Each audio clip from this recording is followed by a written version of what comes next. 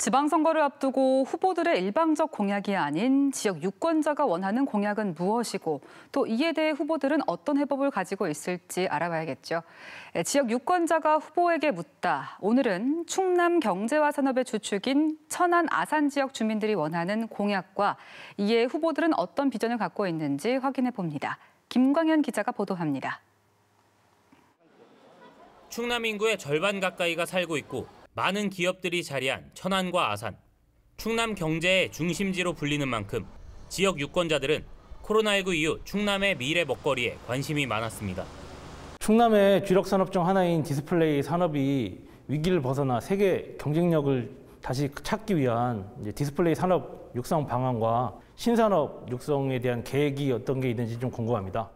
미래 환경차, 전기차 아니면 수소차 문제인데 이런 것을 융합해서 융합형 미래차 문제 이게 디스플레이 반도체가 포함되는 개념이거든요. 또 의료 바이오 특구를 통해서 우리가 시대의 변화에 선도하겠다. 천안 아산 일대를 대한민국의 디지털 수도로 만들어서 충남도가 4차 산업혁명 시대를 이끌도록 하려고 합니다. 100만 평 규모의 산단을 만들어서 삼성과 같은 세계 초일류 기업을 유치하겠습니다.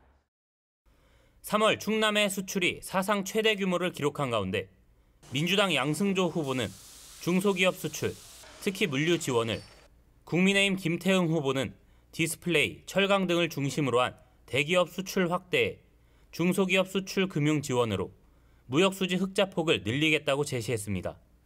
구 천안 이쪽은 전철이 있고 기차가 있긴 하되 서울 가는 게 굉장히 힘들어요. 저희 이쪽도 좀 편안하게 갈 수 있는 방법 어떻게 해주실 수 있는지.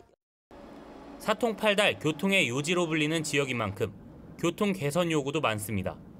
광역 급행철도 노선을 천안에 이어 아산까지 연장할 것을 약속드립니다.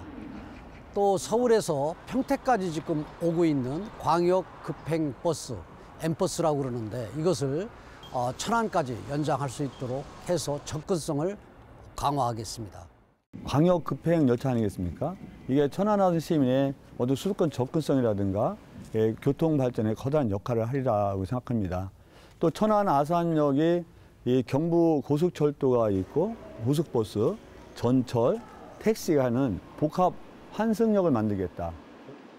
두 후보 모두 GTX-C 노선을 천안과 아산까지 연결하겠다고 말하며 광역 급행버스 연장과 복합 환승센터 개발 등을 약속했습니다. MBC 뉴스 김광현입니다.